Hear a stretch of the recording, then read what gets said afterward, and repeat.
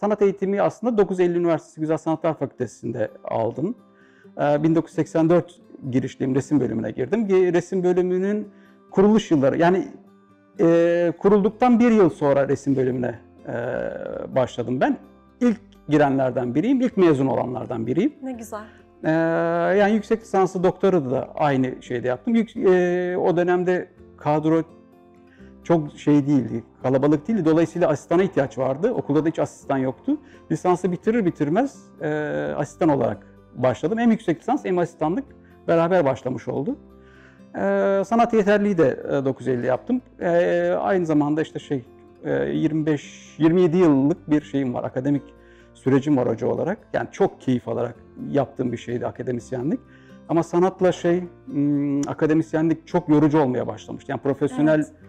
Eee, olarak çalışmaya başladığınızda yaşam ritminiz inanılmaz artıyor yani. Dolayısıyla okuldaki veriminiz düşmeye başlıyor. Eee, sanat mı, akademi mi? Yani sanat bana çok daha kışkırtıcı gelmeye başladığı için şey yaptım.